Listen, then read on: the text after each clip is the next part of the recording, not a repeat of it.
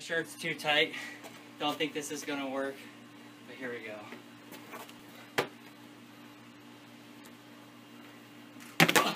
okay, so now we're gonna take some stock photos for the shot we did back at the house, and then we can go home and start uh, editing